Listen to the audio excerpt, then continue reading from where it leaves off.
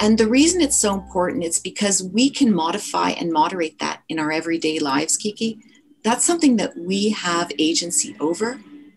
And that means we need to be doing things for our brain that are challenging, but that we're interested in. So, cognitive stimulation does not just mean crossword puzzles, as we were saying before.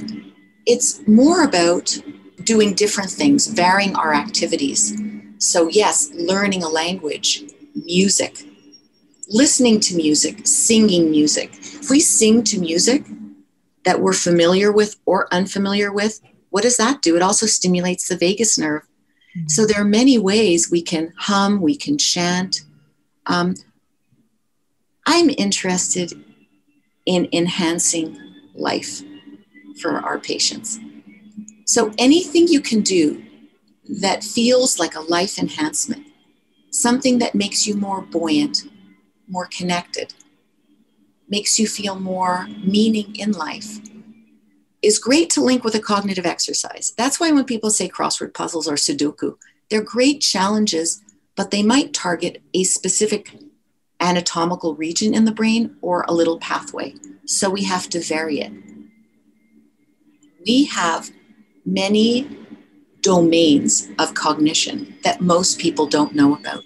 We don't just have memory, we have attention, concentration, we have focus, we have motor skills that we engage when we exercise. It's still considered a cognitive domain in the brain. Sensation, perception, executive functioning, how quickly we process information. How quickly we process information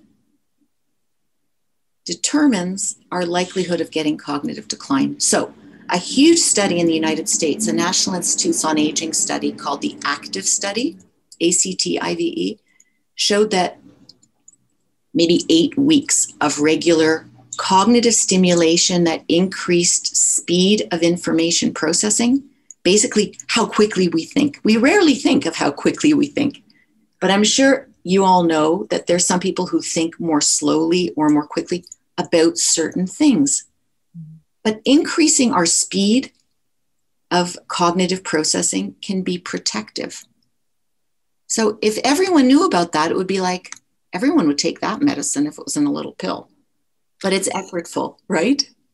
Yeah. So those are the cognitive domains I wanted to share with you and with your listeners because it's good to know that there are many we can be working on and I can give you ideas of how to work on them too.